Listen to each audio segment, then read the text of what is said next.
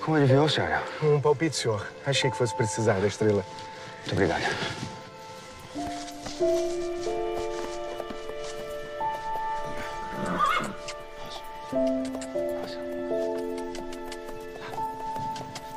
Melissa, eu exijo que me fale a verdade. Meu sobrinho não é louco. Eu estou dizendo a verdade. Eu estou dizendo a verdade.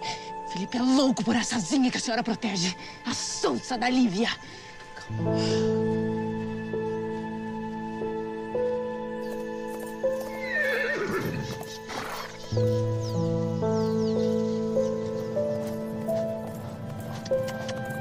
Lívia!